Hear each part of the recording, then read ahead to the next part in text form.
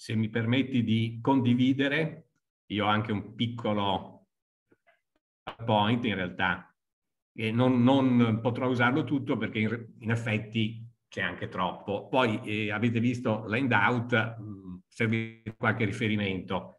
Allora, grazie un'altra volta per chi mi ha invitato e eh, appunto la cosa che un po' mi ha spinto a offrirmi per questo ciclo di ehm, seminari è proprio il fatto che parlando di filosofia, anche nel senso più ampio, io ho l'impressione che per quanto riguarda mh, la nostra tradizione legata all'università, ci siano molti luoghi comuni e che sia anche necessario fare un po' una purificazione semantica di termini.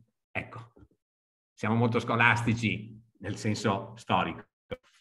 E allora, scusate, ma dovrò anche far vedere per fare un po' di propaganda. Queste sono um, pubblicazioni anche molto recenti. Eh, questo è un volume, a mio giudizio, a cura di eh, Vincenzo Milanesi, che chiunque si occupi di filosofia, sia come filosofo che come curioso, e a Padova in particolare, dovrebbe avere, dove tra l'altro eh, ci sono proprio dei capitoli specifici su figure che a volte sono anche di grande importanza, ma spesso eh, rischiano di essere note solo ai, a specialisti.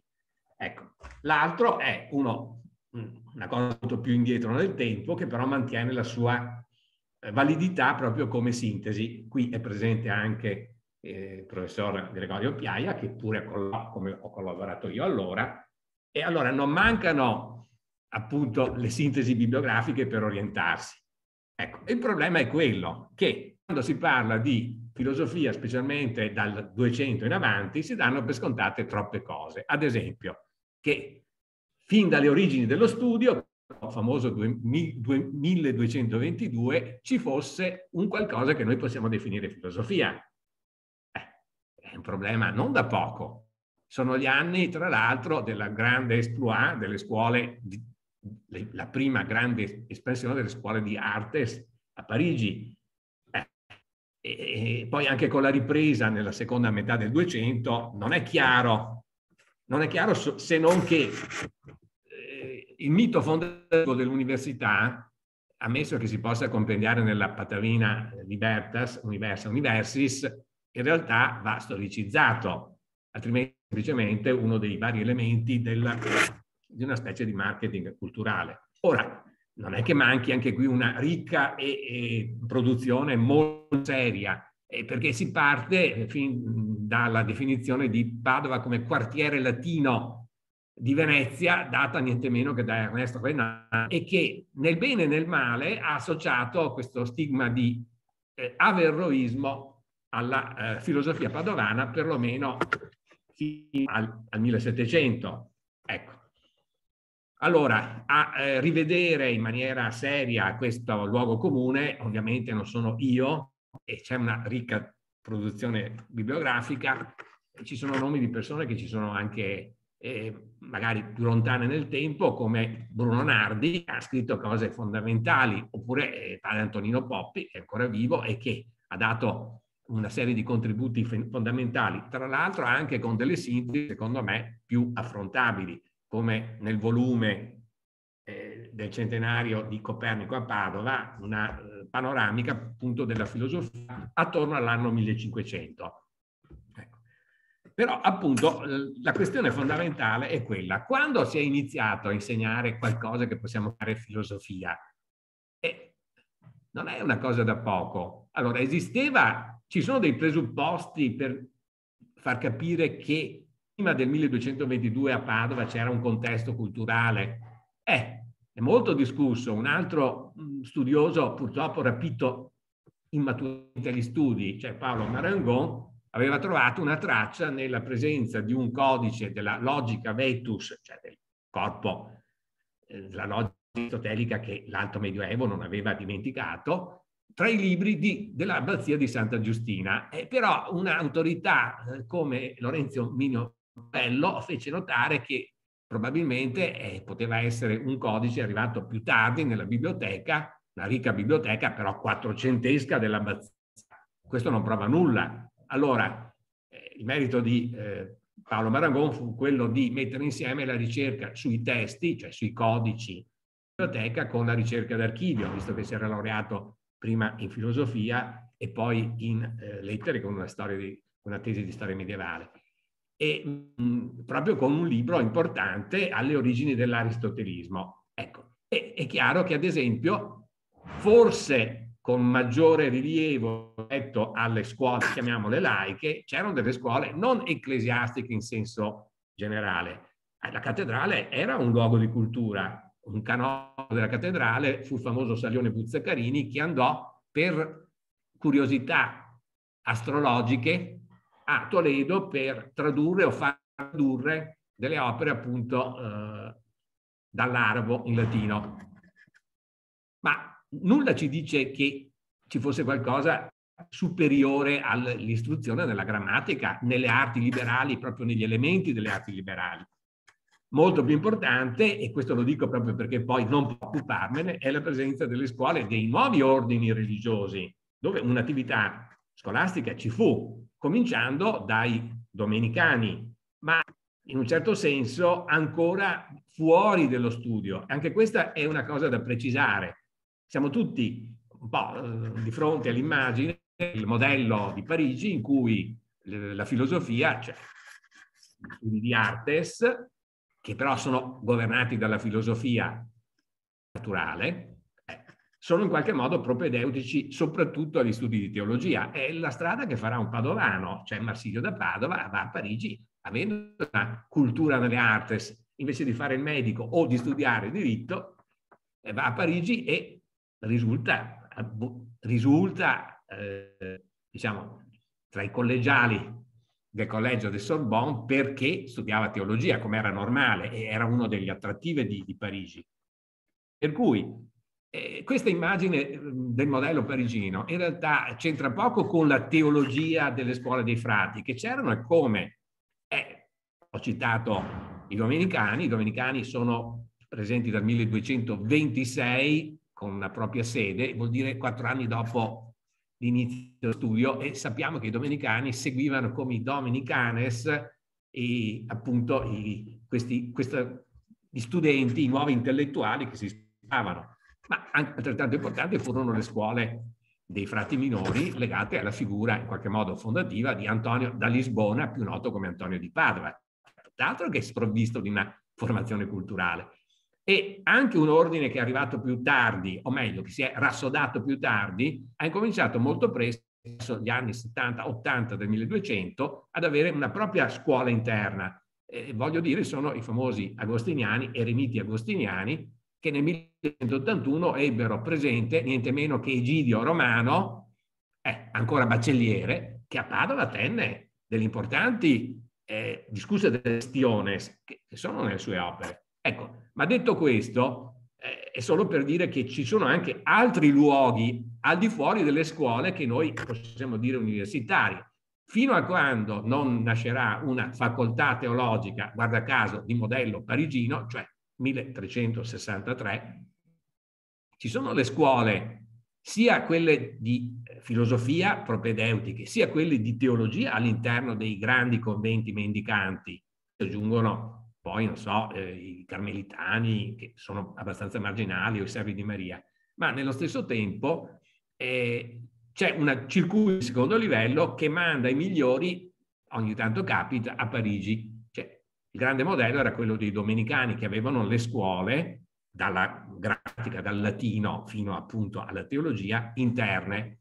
Ecco, ma può capitare che queste scuole potessero essere aperte a degli esterni, non in maniera generalizzata. È una delle questioni che eh, discutono molto gli studiosi di Dante, i biografi di Dante, quando lui parla della partecipazione appunto alle, alle, eh, nelle scuole degli religiosi alle disputazioni dei filosofanti. Ecco, e tutti spesso hanno per scontato che sia andato dai domenicani di Santa Maria Novella o da francescani a Santa Croce a studiare cosa. Ecco.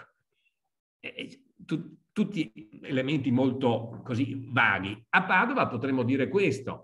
C'è una testimonianza, è il secondo, secondo testo del di notevole spessore, che però finalmente mette assieme eh, quelle che noi possiamo dire le scuole dei religiosi e le scuole dei filosofanti. Cioè Engelbert, un benedettino eh, della Stiria, che poi fece una grande carriera, divenne abate di Valmont, amena abbazia tuttora a Bassa Austria, con una bella biblioteca, racconta di sé in una trattatello, ha scritto moltissimo, è un autore minore ma è molto studiato perché ci sono tante opere.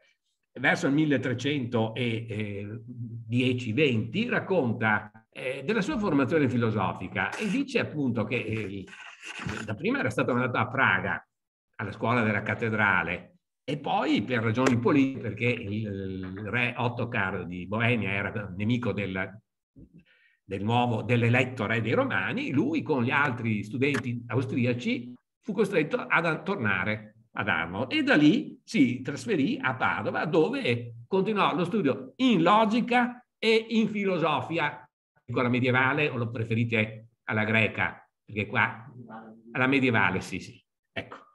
Cinque anni, nello spazio di cinque anni, sotto maestro Guglielmo da Brescia, è un personaggio che era ancora piuttosto giovane, che poi farà il medico, andando però a studiare a Bologna e diventerà niente meno uno dei medici, un archiatra di Bonifacio VIII, canonico di Parigi, senza essere Parigi, anche se ogni tanto ci va e così via. Bene, questa testimonianza di Engelbert Darmot ci dice due cose importanti, che eh, anche eh, dopo appunto una formazione in eh, logica e filosofia si può andare a studiare nelle scuole sotto i maestri lettori dei domenicani, a studiare teologia. Però Engelbert era un monaco benedettino, eh, probabilmente poteva essere anche ospitato da altri religiosi e comunque dimostra che c'era un'attrattività anche di quelle scuole, ma siamo ancora nell'epoca in cui teologia non è nello studio. Per cui questa è una caratteristica di tutte le università italiane, anzi, università con la U maiuscola, perché fra poco entriamo anche nella semantica. Bene, questa è una testimonianza più tarda che comunque con qualche problema cronologico è stata, eh, diciamo, si riferisce ad avvenimenti degli anni tra il 1276 e il 1286, per cui non siamo alle origini dello studio di Padova, siamo in quella grande ripresa che inizia sostanzialmente verso il 1260. Non dico nulla sul grande problema di cosa è successo nel ventennio, ci fu un ventennio anche allora, almeno per Padova, cioè sotto Isolino III da Romano, perché, perché una volta c'erano delle soluzioni drastiche o continuazione perfetta o interruzione totale, e in realtà non è proprio così, nessuna delle due posizioni è ancora, diciamo, accettata oggi. Ma è proprio per l'ambito delle arti e della medicina, parliamo bene, questa è la sostanziale che eh, c'è anche nella medicina antica, c'è in Galeno, c'è nella medicina bizantina e ancora di più in quella eh, araba. Il medico è anche filosofo, poi farò, leggerò un, un aforisma di un medico del 400. Perché? Eh, proprio un'altra testimonianza è il testo 1 del Handout, è molto celebre per chi si occupa di storia eh, in, diciamo, dell'Italia comunale, non solo di Padova, alla fine di una grande cronaca, quella di Rolandino, detto Rolandino grammatico, anche maestro di retorica, che fu letta pubblicamente, esposta di fronte al pubblico, fondato, formato dalla, da do, docenti e maestri indicati sotto, e questa lodevole associazione dei baccellieri e degli studenti delle arti liberali dello studio di Padova. Testimonianza molto nota eppure misconosciuta perché anche recentemente, credo tre anni fa, si discuteva di un bel libro sulla filosofia in Italia all'epoca di Dante, dove Padova è stata marginalizzata, addirittura di Pietro D'Abano si dice che appunto eh, il suo esempio non è così attivo, che è vero da un certo punto di vista, ma non è vero per quanto riguarda l'ambiente di Padova. Ecco, nel 1262 e il 13 di aprile eh, fu letta pubblicamente secondo una modalità tipicamente universitaria. Ecco, e eh, la rubrica finale della, della cronaca ci dà l'organigramma di una specie di piccola eh, facoltà, tra virgolette, di arti e di medicina già attiva, con alcuni nomi non così importanti, però diciamo ricostruibili come personaggi storici. Allora, questi eh, tre eh, maestri di do, questi cosiddetti dottori in fisica e scienze naturali, ricordiamo che fisica spesso indica la medicina, ma anche la scienza naturalis, che rimanda appunto a tutti gli strumenti anche intellettuali e alle pratiche didattiche della scuola appunto di filosofia. E un maestro di logica, tredicino, e poi un gruppo di maestri che sono di, detti di grammatica ma anche di retorica. Allora, potremmo dire che sicuramente verso il 1260 c'è un nucleo di docenti che sono attivi in quello che si chiama lo studio. Ecco, questo è il primo termine. Noi possiamo anche parlare di università o di ateneo, in senso molto traslato, perché in realtà lo studium è più una realtà che esiste, esiste, cioè, ma è fatta da singole componenti che sono riconoscibili. Ecco, non tutte le componenti possono esserci. L'altro grande eh, termine, appunto, è quello di universitas.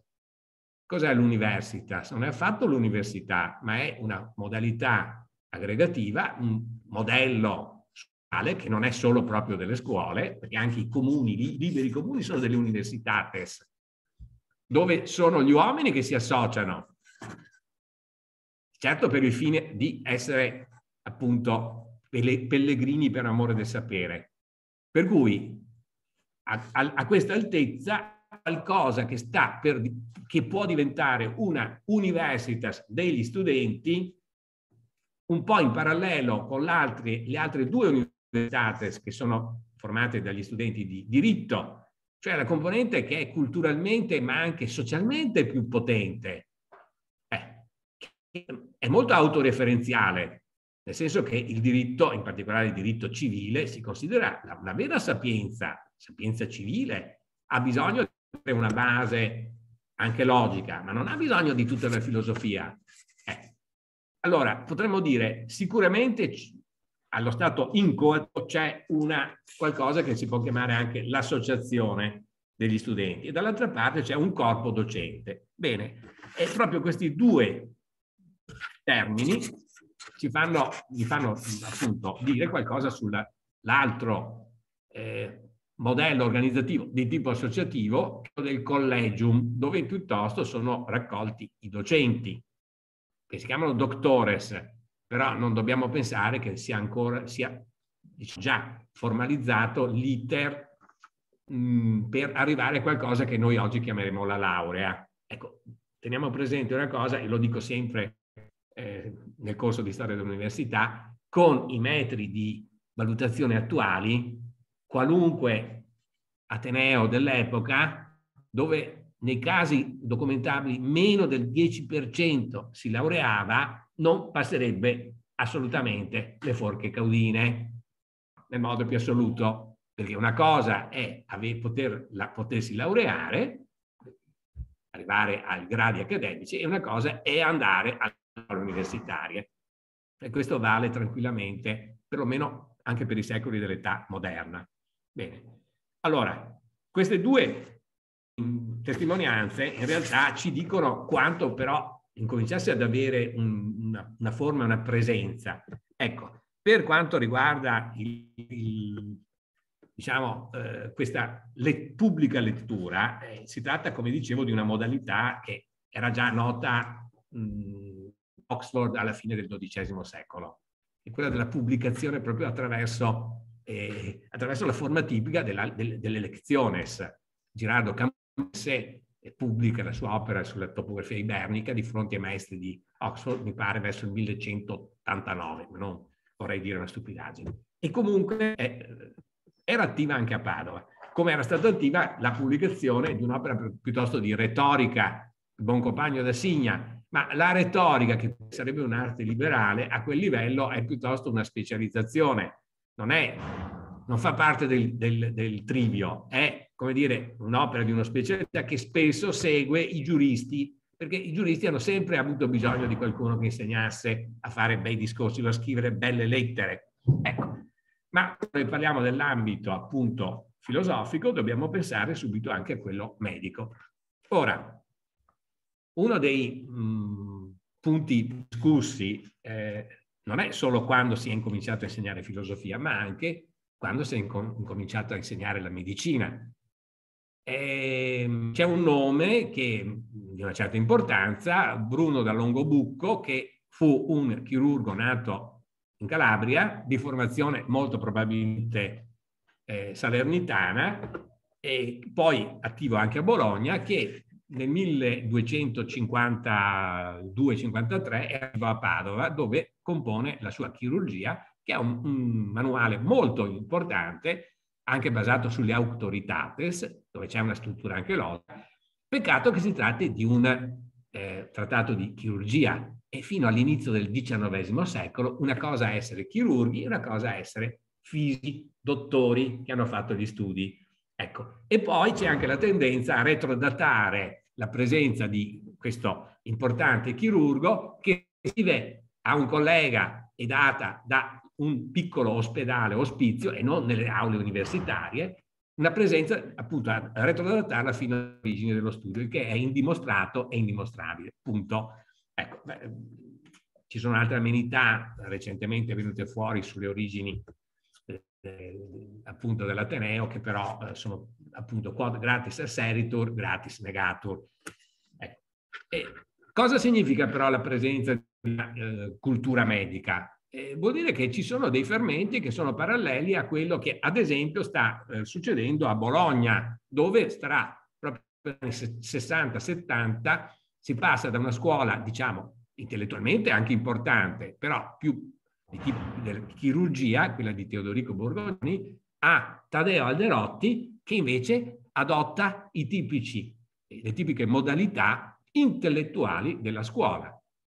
C'è un corso di testi, c'è la lezione, ci sono le questiones, che possono essere in aula o anche esterne, e poi ci sono le disputationes.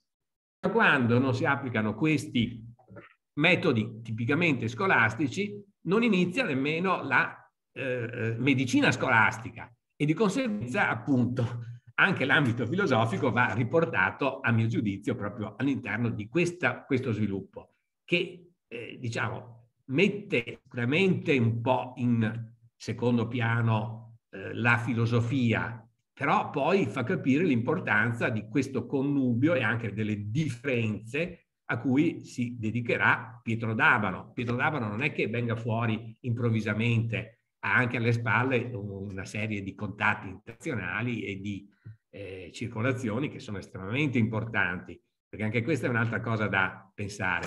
Non esiste così una filosofia che si autoriproduce a Padova.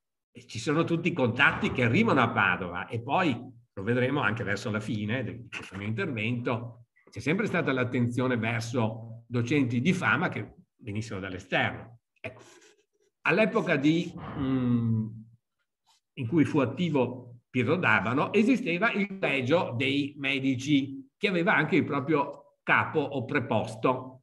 Eh, lo sappiamo da un esempio di eh, diploma di laurea del 1907, è il testo 3, io vi ho riportato, riportato solo i nomi dei presenti, ecco, dove c'è il pre preposito, noi diremmo il priore prempore, il presidente del collegio degli artisti, si chiama Collegium Artistarum, sottinteso et medicorum, ed è la corporazione professionale dei docenti non dei medici. I medici cittadini hanno una, un'altra corporazione e lì non è necessario essere universitari, eh, bisogna essere però riconosciuti nella professionalità e chiaramente molti che sono universitari saranno anche nell'altra corporazione. Ecco. E Pietro D'Abano, mondino da Cividale del Friuli, che è stato un po' un continuatore e importante proprio nella storia dell'insegnamento medico, di cui ovviamente io non mi occupo, ma anche due docenti di logica e poi alcuni docenti di eh, grammatica. Non dovete pensare alla scuola preparatoria di latino, ma a una grammatica elevata, perché i gradi preparatori sono affidati a maestri che appunto sono nelle scuole piuttosto diffuse nelle nostre città. Bene, nel giro di pochi anni si capisce che c'è un'altra trasformazione che era già avvenuta per quanto riguarda eh, la, um, noi potremmo dire, l'ambito giuridico, cioè si inizia a pagare alcune delle cattedre con denaro pubblico, denaro del comune di Padova che ha puntato moltissimo sulla presenza dello studio. E questa, eh, diciamo, questa dimensione del, del eh, salario pubblico non copre tutti gli insegnamenti, copre i più importanti, ma sarà abbastanza importante notare come nel 1321 in occasione della, di un secondo grande movimento migratorio da Bologna, che ha colpito la crisi, nei patti stretti tra il comune di Padova e gli studenti fuoriusciti da Bologna si parla espressamente di eh, che comune si obbliga a pagare anche due maestri in medicina, cosiddetti ordinari. Ricordate sempre che è ordinario, la materia non è ordinario il professore, il professore era ordinario in relazione alla materia. Ecco. Uno straordinario, uno in chirurgia, che certamente è importante, ecco, e ehm, uno in filosofia, che epoca e per secoli vorrà dire la filosofia naturale, è per antonomasia, e uno in loicalibus, cioè nell'insegnamento della logica, che, guardate bene, è importante proprio come strumento eh, mentale. E si equiparano questi maestri e i loro scolari ai privilegi dell'ambito giuridico. Eh, anche questo è un elemento che si è andato sviluppa sviluppando nel tempo, è già esistente pure a Bologna, c'è sempre un po' questo uh, rimba rimbalzo di modelli, perché se questi venivano da Bologna hanno chiesto per prima cosa di continuare a essere organizzati esattamente come erano lì. Bene.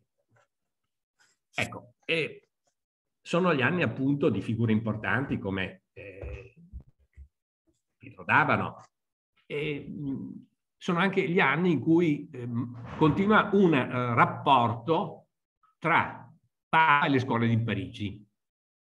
E, mh, del resto era, fu importante anche per Bologna, addirittura a Bologna inizia qualcosa che era stato chiamato l'averroismo bolognese, come se appunto anche l'idea eh, della filosofia eh, parigina dell'epoca di Sigeri di Brabante fosse proprio trasfuso alla fine del 200 a Bologna. In realtà quali erano gli, gli interessi? Erano interessi ad esempio per la filosofia naturale che veniva dalle scuole parigini, parigine come eh, quelle di Jean de Jardin e poi di Buridano. Ecco, però sono anni in cui sostanzialmente la filosofia è nelle mani dei medici a Padova cioè dopo Pietro D'Abano in realtà eh, c'è qualche figura minore.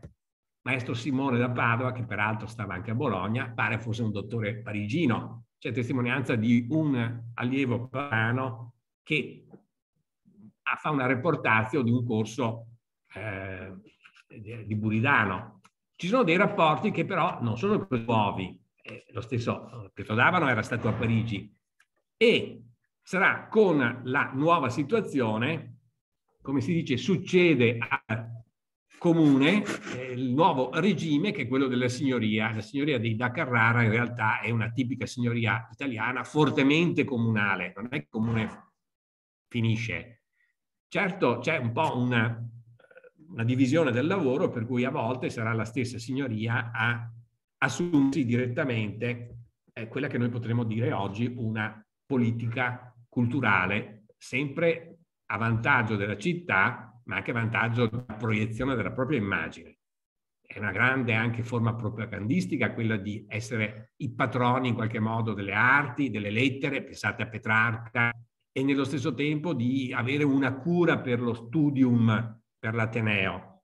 Ecco, e proprio questo sarà importante proprio nei rapporti interni, come vedremo poco, come sarà importante anche l'intervento, ehm, l'intervento eh, congiunto nell'ambito della signoria perché finalmente anche Padova avesse la facoltà teologica. Appunto, la concessione ufficiale, l'istituzione è del 1363, due anni dopo eh, un'analoga concessione per Bologna e, e semplicemente l'importanza che è annessa in un quadro di politica eh, generale proprio anche la presenza di un collegio di teologi che può finalmente laureare in teologia. E invece di andare a Parigi o a Oxford o a Cambridge, eh, non solo perché era costoso, ma perché è complicato, perché poi ci sarà il grande scisma all'Occidente, eh, ci si può laureare in Italia. Allora dall'Ungheria o dalla Polonia o Germania vengono piuttosto i frati dei vari ordini a laurearsi, vengono a Padova, vanno a Bologna o a Firenze e così via. Ecco, perché? Perché quando si parla poi di filosofia dobbiamo sempre tenere presenti anche le scuole appunto eh, di teologia. Ecco, però non è questo elemento che forse mi fa perdere un po' di tempo. Ultimamente, diciamo negli ultimi decenni, è stato ripreso abbastanza bene e che ancora meriterebbe di essere approfondito. È che nella seconda metà del Trecento ci sono grandi medici che sono anche filosofi. Faccio due soli nomi che tra l'altro appartengono a vere e proprie dinastie familiari. Marsilio Santa Sofia, esponente o da Santa Sofia, dal nome non Santa Sofia di Costantinopoli, ma proprio della contrada padovana, che è il maggiore esponente mh, assieme a fratelli, nipoti, figli di questa famiglia e che certamente fu uno dei massimi medici e, e docenti in vari atenei, ma ha lasciato anche molte questioni che hanno una direzione filosofica. L'altro nome è quello di Giovanni Dondi dall'orologio, pure esponente di una famiglia di medici, che eh, è uno dei pochi medici e filosofi amici in grado di sopportare il Petrarca, che per lui ha delle buone parole, dice peccato, sarebbe arrivato agli astri se non fosse stato medico. Ecco, ma è una figura molto complessa eh, che tra l'altro insegnò anche logica, di, di lui è arrivato il, il, il diploma diciamo, di abilitazione in logica, era già dottore di medicina, però a un certo momento ha voluto, proprio a metà del secolo, essere anche, rilaurearsi in logica specificamente e la insegnò. Ma siamo ancora nell'ambito di queste figure che sono contemporaneamente filosofi e medici. Ecco, e, e lo vediamo per, perché finalmente nel 300 incomincia ad essere più ehm, disponibile una documentazione, documentazione d'archivio, che ci parla degli insegnamenti, ma soprattutto dei gradi accademici. Sono i famosi promotori. Ecco, e anche qui facciamo un po' di chiarezza. La laurea, tra l'altro, non è un solo atto, ma è formalizzato in almeno tre fasi. In particolare a Padova ci si laurea in medicina o anche in arti, o, o anche in arti e poi in medicina o anche contemporaneamente, sostenendo non solo la cosiddetta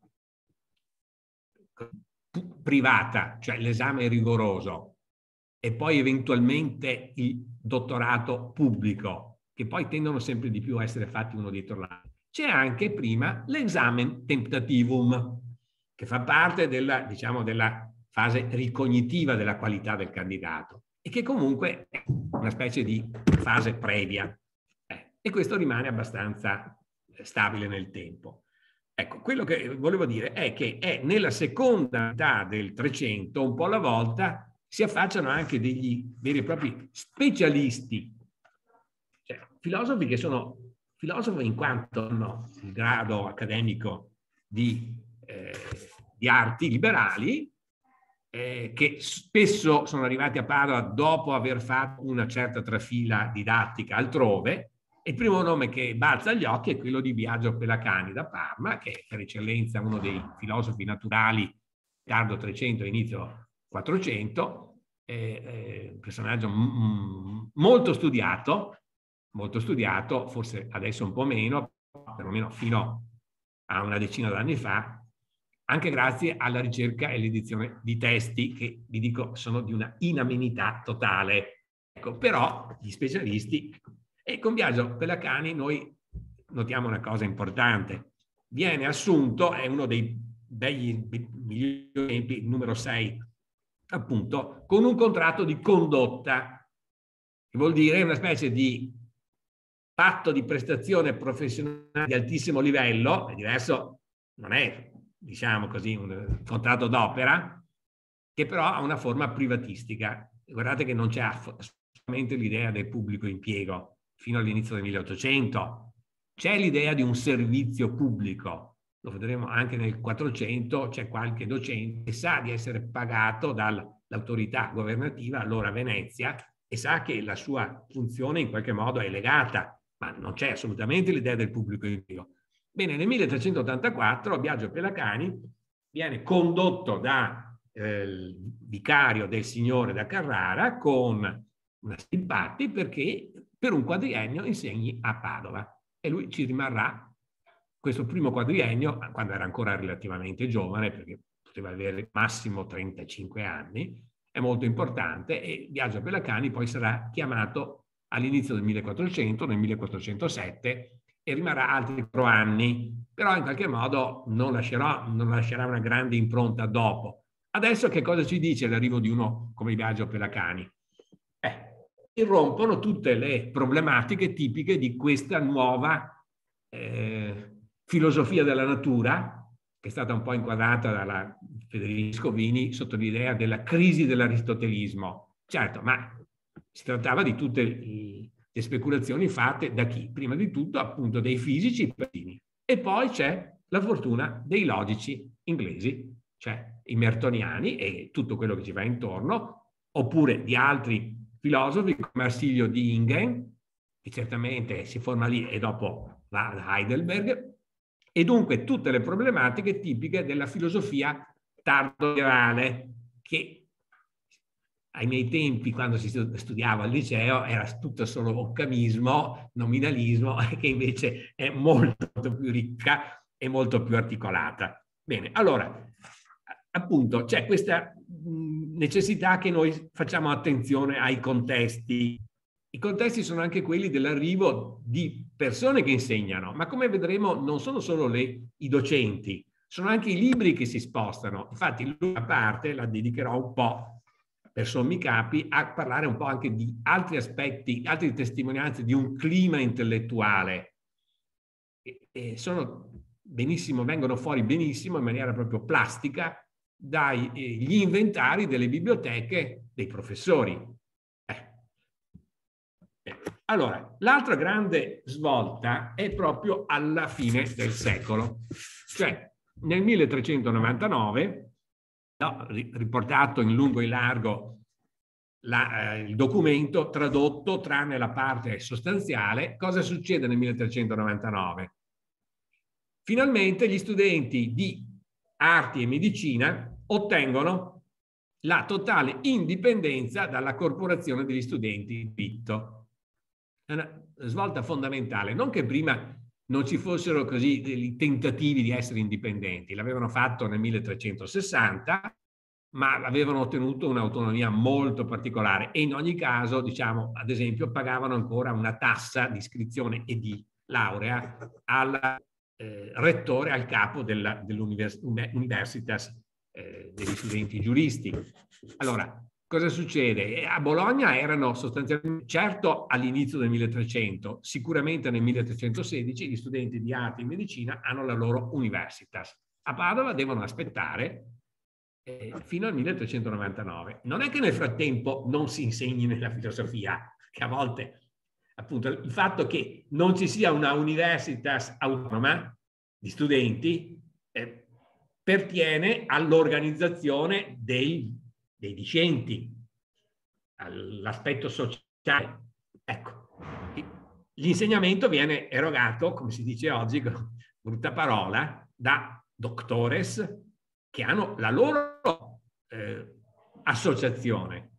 Ecco, e questo è il modello italiano che viene riprodotto in questa divisione e che in qualche modo sancito da un lodo arbitrale, non da un intervento a gambe attese, ma da un intervento richiesto espressamente dalle parti in contesa. Cioè di fatto cosa, eh, c'era stata una elezione di un rettore. Il primo rettore dell'Universitas fu Benedetto Greco Verno, come dire che veniva da lontano in un'epoca in cui moltissimi, molti studenti di arte e medicina vengono dal regno di Napoli. C'è un richiamo, non vanno a Napoli a studiare, vengono a Padova o vanno a Bologna. Eh, ma il primo rettore è questo studente sfortunato perché fa il rettore un anno tra il 1399 e il 1400 e nel 1401 in giugno muore, probabilmente durante un'epidemia e per nostra fortuna è rimasto il testamento di questo studente che apparteneva così a una cuscia sociale di un certo rilievo e anche l'inventario dei libri della sua biblioteca personale. Per cui non ci sono solo gli inventari di biblioteche di professori, c'è anche, c'è anche questo caso della biblioteca di uno studente, uno studente avanzato, uno studente che tra l'altro appunto eh, soggiornava in un collegio fondato da un medico, il collegio di Jacopo d'Arqua o di Santa Caterina. Ecco. Allora, questo fatto dà origine non semplicemente a una serie di nuovi rettori che sono quelli degli studenti di arte e medicina, ma in qualche modo anche a un'autonomia ed è l'autonomia del gruppo anche studentesco che si trova poi, almeno diciamo sulla carta, eh, fino alla fine dell'antico regime, fino al 1700, quando però eh, un po' alla volta che si, quello che è stato detto il potere studentesco, essenzialmente quello di designare o di proporre il corpo docente, ormai era estremamente ridotto o era stato drasticamente proprio eliminato. Bene, perché? Perché qui c'è l'altro aspetto importante del rapporto tra i pubblici poteri e l'andamento dello studium. Allora è chiaro che al tempo comunale, Padova ha avuto questa fortuna di puntare sulla presenza dello studio, ma i carraresi hanno ereditato questa cura e poi dopo la crisi del due anni, tre anni, 1404-1407, eh, la nuova potenza di riferimento, cioè Venezia, ha capito l'importanza di puntare sullo studio di Padova avrebbe potuto lasciare libertà a Verona o a, a, a Vicenza, a Treviso, che avevano delle tradizioni culturali e universitarie, di riorganizzare i propri studi, invece no, punta tutto su Padova.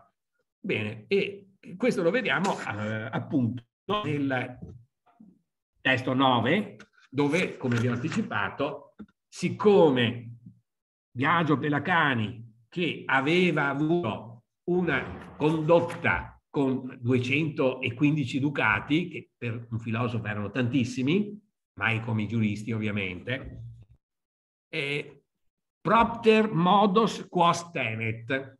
Noi potremmo dire, per l'atteggiamento, per il modo di fare che tiene, era inviso agli studenti.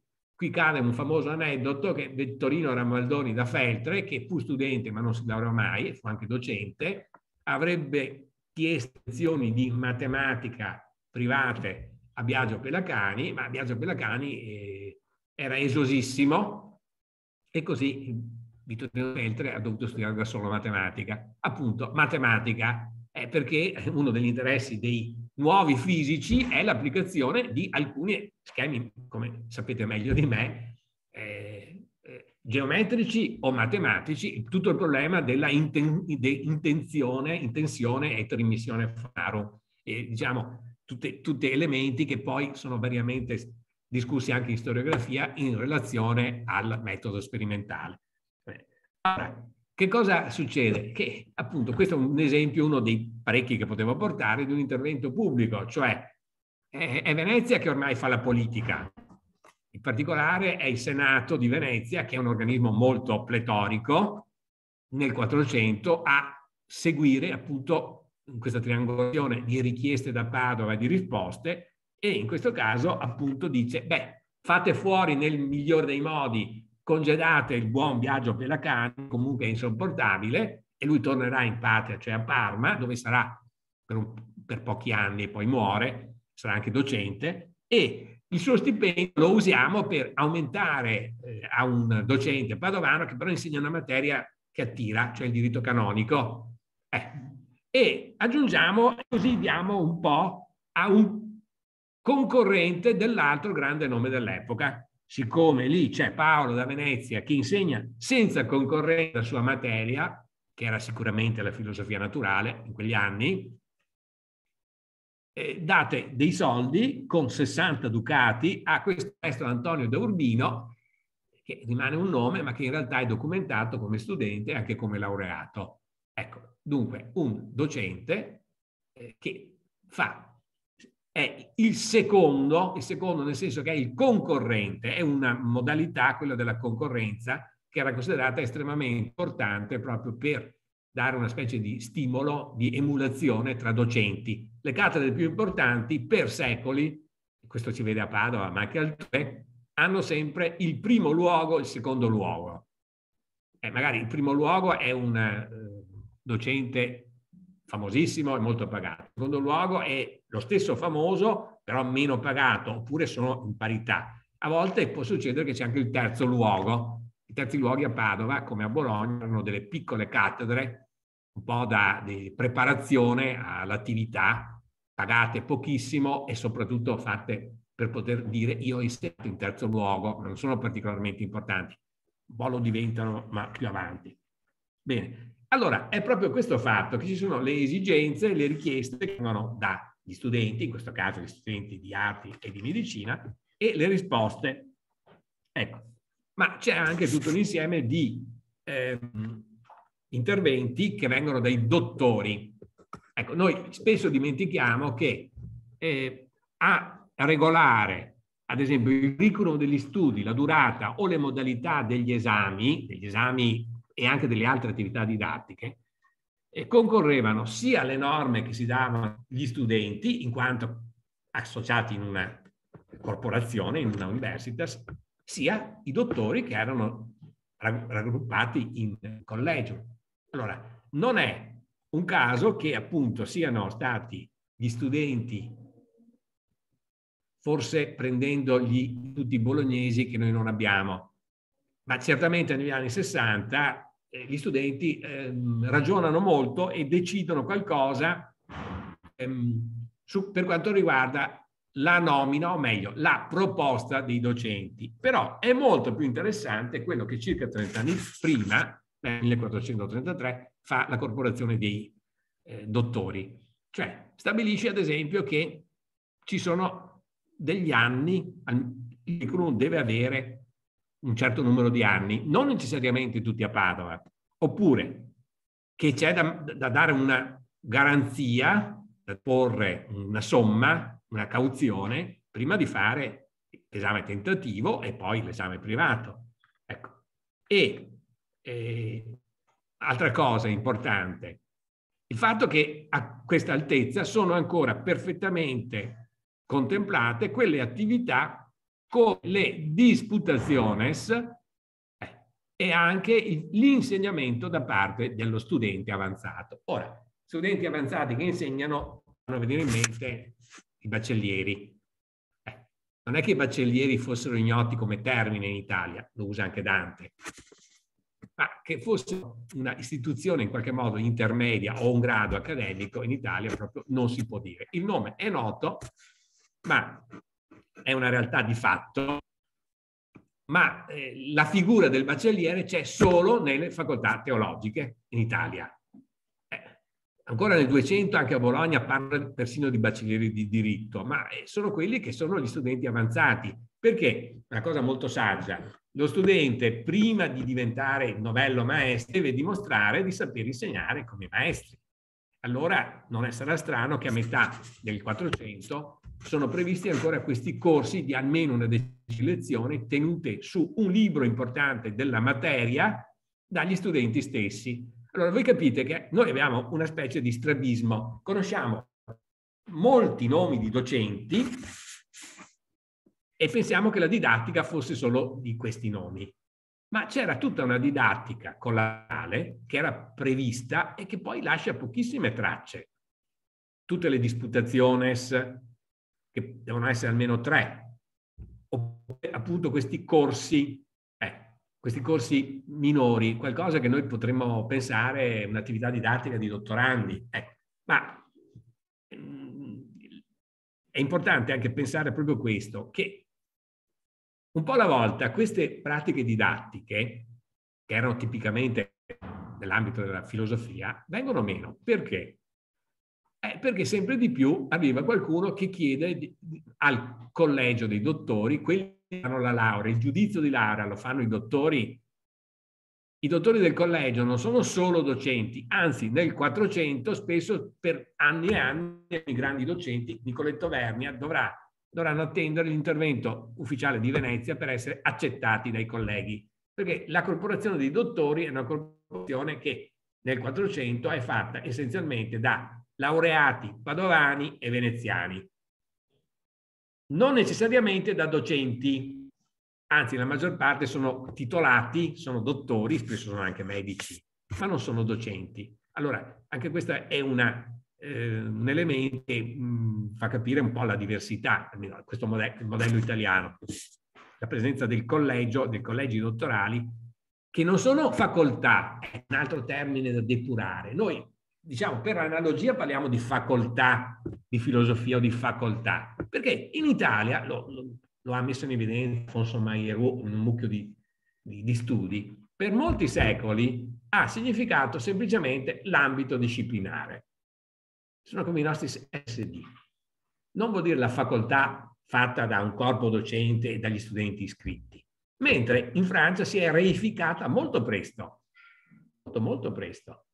Allora, noi trovi, troviamo, abbiamo la fortuna a Padova, eh, che non è di nessun'altra università europea e nel mondo, di avere una eh, serie ininterrotta, tranne gli accidenti appunto delle fonti, di atti accademici, di gradi accademici che va da fine del 1300 al 1605, editi, editi, cioè ancora in forma di libro, forse sono anche abbastanza complicati, ma in grado di darci un mucchio di informazioni. Prima di tutto chi arriva alla laurea.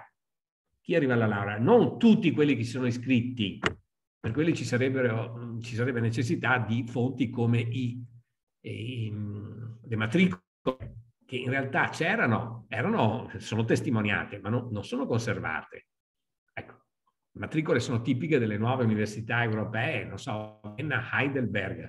Lì possono dire quanti studenti si sono iscritti, studenti che spesso erano già maestri. In Italia questo non si può fino a, alla fine del Cinquecento. Allora, proprio la cosa importante è questa, che eh, noi abbiamo de dei riferimenti ormai anche di tipo normativo, però sappiamo che fare la storia con semplicemente le leggi o con la gazzetta ufficiale proprio oh, è deformante. Allora, per nostra fortuna, appunto, noi possiamo dire molto sugli studenti che arrivano e che vengono e soprattutto possiamo capire come, un po' alla volta, si sia eh, estremamente rimpicciolito lo spazio di manovra che era tipico appunto della vecchia tradizione dell'autonomia universitaria, cioè degli studenti che, siccome inizialmente pagavano i docenti con la colletta, così potevano chiamare docenti di loro gradimento. Con l'intervento dei poteri pubblici non avranno altro che un'idea, diciamo una capacità di proporre, ma un po' alla volta anche questa verrà tolta. In sostanza che cosa succede? È proprio la seconda parte del 400. Nella seconda parte del 400 ci sono docenti, personaggi importanti, eh, basta citare appunto Nicoletto Vernia oppure il Peretto Mantovano, cioè Pietro Pomazzi, che avevano ottenuto eh, dal governo veneziano il privilegio di non soggiacere, di non essere soggetti, sottoposti alla ballottazione, che era ormai una cosa molto proforma. Perché? Perché Venezia a un certo momento, oltre a esentare cioè a escludere dalla ballottazione alcuni docenti che proprio privilegiati, ha eh, diminuito la capacità di intervento degli studenti e poi alla fine nel 1560 l'ha proprio definitivamente tolta. E così tutta la politica di acquisizione o diciamo di chiamata dei docenti veniva fatta per altre vie, certo anche tenendo conto della fama dei personaggi su cui si prendevano spesso eh, così, eh, le informazioni per via diplomatica. L'ambasciatore veneziano, o meglio, l'oratore veneziano a la corte di Roma dal Papa poteva avere notizia su alcuni, l'altro che era a Firenze e così via. E questo lo vediamo un po' nei cosiddetti rotuli. Ecco, la sfortuna di Padova, se ha la fortuna di avere i gradi accademici, è che fino al 500 inoltrato ci sono pochissimi rotuli. Cosa sono i rotuli? Sono quelli che oggi noi chiameremmo i ruoli del personale docente o anche delle specie di manifesti studi. Una volta, fino a non molto tempo fa, erano cartacei, adesso sono solo online, però ci dicono chi insegna che cosa. Nel caso migliore c'è anche lo stipendio. Ecco, e alcuni di questi esempi io ve li ho riportati, non mi fermo anche perché il tempo... Ecco. E vedete anche in qualche modo l'importanza di poter avere queste liste perché ci fanno capire dall'entità della, eh, dello stipendio del professore qual era il eh, presunto rilievo sociale. Perché al medico meglio pagato, che è Antonio Cermisone, si dà uno stipendio di 550 ducati, che è meno del giurista più importante, ma è di più dei giuristi di secondo livello. Eh, oppure gli insegnamenti di filosofia naturale 40, 60 ducati sono, diciamo, abbastanza limitati. Eh, non c'è una base comune, cioè può esserci un docente che prende 20 volte più di un altro. Ecco, non lo diciamo però adesso ai nostri ministri perché... Ecco. E che cosa, cosa si nota? Che c'è comunque un numero di insegnamenti, noi diremo di cattedre, che è piuttosto limitato. Questa è una caratteristica tipicamente padovana. L'organigramma dei professori ufficiali è molto inferiore a quello che troviamo non solo a Bologna, eh, ma anche a Pavia, che è l'altro grande terzo polo a partire dalla fine del 1300, anche nell'insegnamento universitario della filosofia e della medicina. Ecco, quando noi arriviamo al 1500, l'anno tondo 1500, eh, che è l'esempio 4 di questa appendice, ecco, abbiamo dei nomi importanti, sempre separando un po' l'importanza del settore medico da quello che noi diremo un, un raggruppamento che è fatto da teologia, filosofia, astronomia e logica. Allora, era successo e sarà sempre più importante nella seconda parte del 400 che con denaro pubblico vengono pagati anche prima uno e poi due docenti di teologia e poi diventano, ci sono anche due docenti di metafisica che insegnano la metafisica. Cioè prendono un testo aristotelico o alcuni libri e lo spiegano. Ma sia nella teologia sia nella metafisica, questo sistema della concorrenza diventa l'adesione a due scuole, la via Tome, cioè il dei domenicani, e la via Scotti, che è invece lo scotismo dei frati francescani. E qui troviamo nomi molto noti che non hanno un'importanza solo, diciamo, eh, nominale. Eh, Antonio Trombetta, insomma, è una figura tutt'altro che trascurata ed è docente di metafisica. Allora, questo elemento di avere insegnamenti di teologia e di metafisica nel ruolo delle arti ha fatto molto pensare anche così tipo Paolo Oscar Christeller, che erano convinti che la teologia non ci fosse affatto nel, nello statuto del, delle università italiane o che fosse una cosa appunto delle facoltà teologiche. Ora, qui la, è abbastanza complicato, nel senso che eh, i teologi erogavano dei corsi che servivano sia per la teologia, eh, ma che probabilmente interessavano anche studenti di filosofia o anche di medicina. Sicuramente la metodica era un insegnamento che era strettamente, diciamo, gettonabile dagli studenti di filosofia. Eh, appunto, poi troviamo la filosofia morale, eh, la matematica e astrologia, questa unione importante, noi diremo la parte dell'arrivio delle scienze reales, e ancora alla fine del 1500 Galileo Galilei sarà professore delle matematiche. Le matematiche comprendono anche l'astronomia, compresa anche quella che è l'astrologia, nel senso buono. Ecco. E poi abbiamo i nomi più importanti, cioè l'insegnamento della filosofia naturale e, e in concorrenza Pietro Pomponazzi, Peretto Mantovano, che poi nel 1508 va via da Padova e riprende a insegnare a Bologna, è vero che Bologna lo considera una gloria propria, però Padova può altrettanto eh, vantarsi del fatto che i suoi corsi erano molto seguiti e dei corsi di Pomponazzi sono rimaste anche le reportazioni fatte dai suoi studenti, sia quelle studiate decenni fa da professor Poppi, sia questa che è stata edita tre anni fa eh, da uno studente che poi farà una carriera, che è un veneziano. E I veneziani, che pure avevano a Venezia la scuola di Rialto, eh, poi quando volevano seguire la filosofia venivano a Padova, appunto. E poi troviamo ancora l'insegnamento della cosiddetta sofisteria, cioè la logica modale, per dire che da metà del 300 a, a, al 500 inoltrato, le calculazioni, cioè la scuola dei logici mertoniani, tutto quello che è sviluppato attorno, è stata gettonatissima. E lo vediamo anche dal fatto che ci sono molte edizioni proprio a partire dagli anni 70-400, curate da docenti, in modo da fornire proprio i testi a stampa. Bene, e questa è l'epoca, il secondo 400, in cui ci sono nomi che appunto a volte una nota in un manuale di storia della filosofia italiana, oppure sono oggetto di eh, studi estremamente specialistici.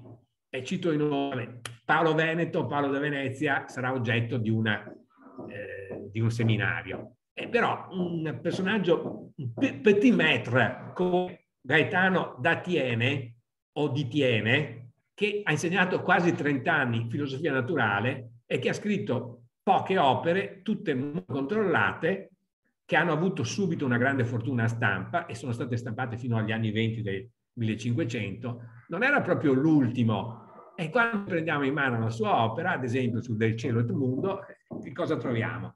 Che fa tutto l'apparato di, di, commento, addirittura con eh, il proemio ai studenti, ma non legge direttamente il testo aristotelico, ma legge il testo aristotelico con il commento tradotto in latino di Averroè, da cui la famosa etichetta di averroismo padovano. Ora credo che c'è anche qualcuno più competente dirlo veramente un averroista è difficile, è un po' un eclettico, però poi è chiaro che sì, ehm, usano gli strumenti che sono normali. Se allora c'era il commento di Averroè, si, si, si spiega quello. Ogni tanto però poi vengono fuori le opinioni, non so, di Tommaso d'Aquino o di Egidio Romano. E comunque è ancora un'epoca in cui non c'è un interesse di tipo filologico. Questo verrà fuori un po' alla volta cioè l'interesse filologico vuol dire leggere Aristotele in greco. Può farlo un umanista eh, e un po' alla volta anche i filosofi, specialmente poi nel Cinquecento, un interesse per la correttezza del testo ce l'avranno, ma per ora diciamo è, non fa parte della forma mentis, certamente non di eh, Gaetano Lettiere. Bene, allora, come vedete io in realtà ho coperto solo il 400 e il 500 non è che voglia lasciarlo da parte. Allora, vediamo se riesco a condividere una, una cosa un po' meno... Scusate. Eccola qua.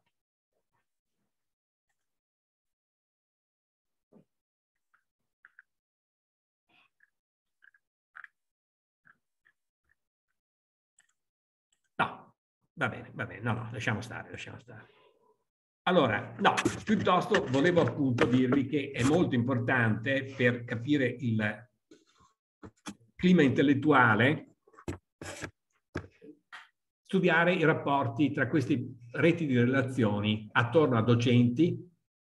Se uno fa il promotore a una laurea di qualcuno, evidentemente è connesso, è stato un, eh, un professore, eh, può essere anche che un, um, un, uno dei presentatori non fosse un docente, poteva essere però un personaggio importante nell'ambiente padovano. L'altro elemento è quello di vedere la circolazione dei libri, cioè quella fatto che noi potriamo, possiamo vedere rispecchiato dalle eh, raccolte librarie, o meglio, sia da codici ancora esistenti. Ci sono biblioteche filosofiche.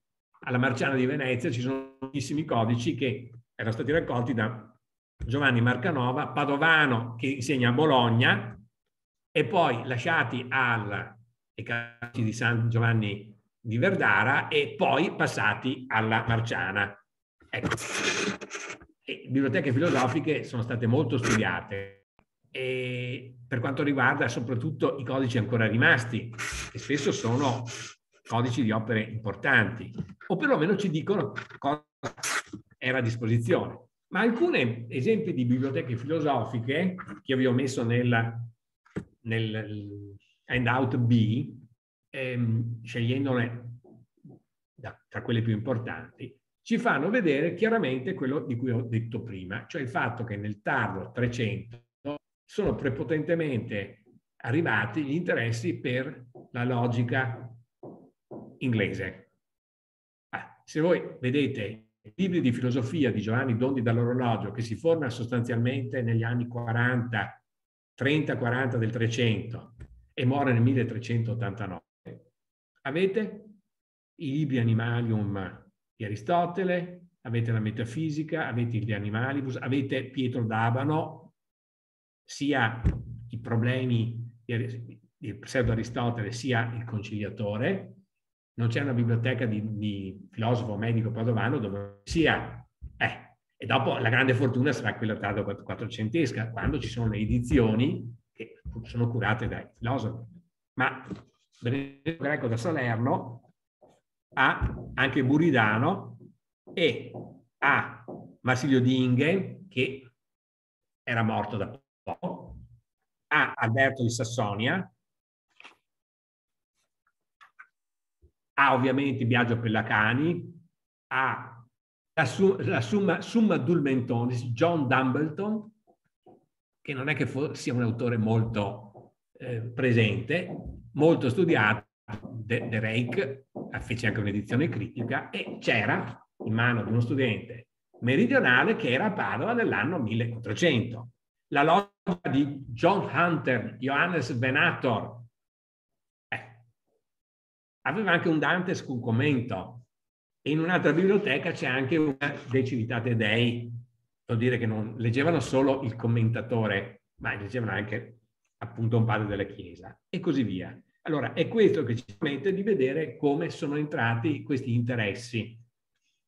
Si tratta solo dei libri filosofici, io non ho messo i titoli medici che non sono indifferenti o quelli di astronomia, però appunto se noi andiamo avanti, anche un docente medio come questo Giacomo Zanettini, che comunque ha insegnato anche filosofia, ha le questioni di Enrico di Erfurt, Erfurt sopra la fisica, ha opere di Nicolò, Nicolas Oren, che era una cosa moderna. Siamo nel 1402, Oren è morto nel 1302, capite? Ancora una summa Dulmentonis e così via.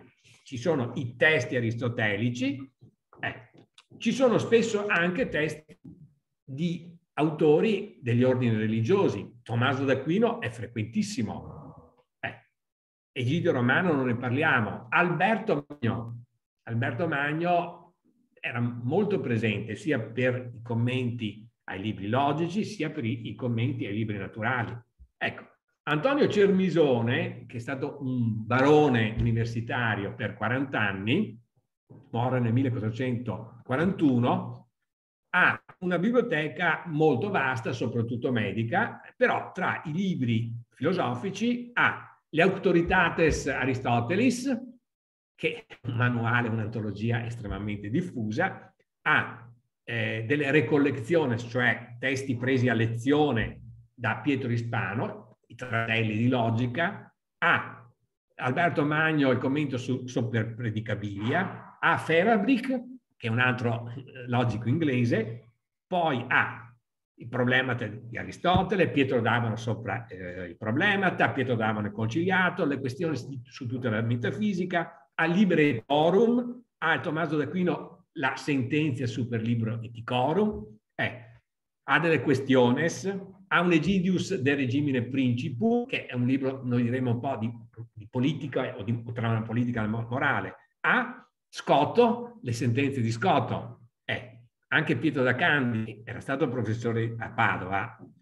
Ecco. Oppure Gaetano d'Atiene, che è morto nel 1465, aveva una bella biblioteca che lascia un nipote e nel suo testamento cita otto codici Alberto De Animalibus. Alberto sopra il libro del Fisicorum, sopra il De Anima, Degenerazione. Le questioni Bridani, che è sempre il solito Buridano, circa un secolo dopo c'è ancora questa fortuna di Buridano. Parenito super libro de anima. Eh.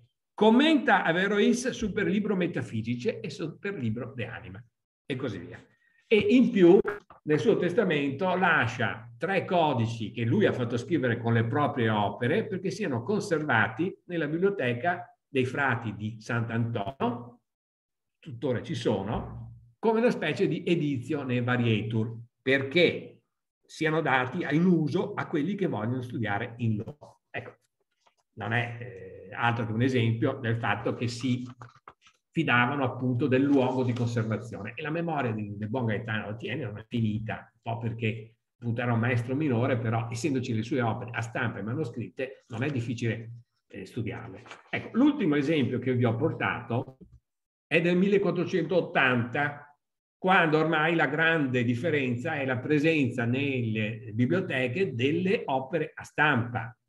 Da circa 20 anni in Italia ma soprattutto da 15 anni per quanto riguarda la produzione di libri proprio, di testi propriamente filosofici.